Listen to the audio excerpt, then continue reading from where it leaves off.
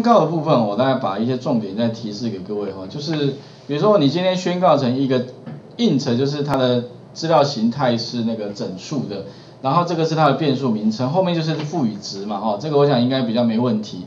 那如果说你是整数，你就不能给小数点，除非你用强制转型或者把宣告的型别改变。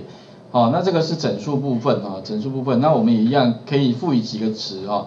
那另外的话，常数部分，如果你今天要宣告一个常数，假设你今天哈这个派有啊，派是那个呃圆周率好了，哦圆周率，好，那圆周率的话呢，假如说你今天呢哈宣除了宣告个这个 double 它是一个派的名称之外，那各位可以看到哈，它后面也是一样可以赋予值，对不对？那差别就是说怎么样呢？前面加一个什么 final，也就是说 final 的这个修饰词你放在前面之后的话，有没有？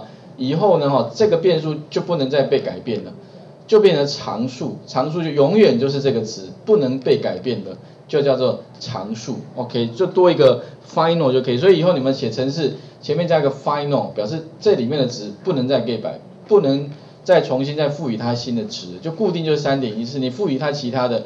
哦，很抱歉，不行，OK，好，这个是有关于变常数的部分，哈，有变数跟常数部分。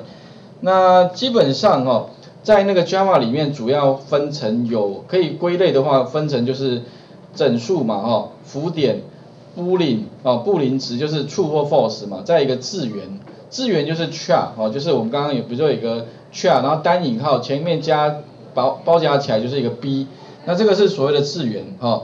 那各位可以看到，总共会有几种呢？基这个就是所谓的基本的资料形态，基本的哦，啊，基本的资料形态，总共有八种，包含就是 byte、short、int，哦，还有 long。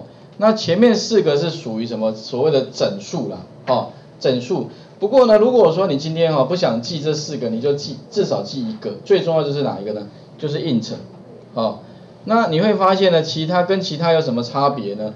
主要就是说哈，这个 int 它是三十二三十二个 bit，也就是它的占的空间，哦，三十二 bit。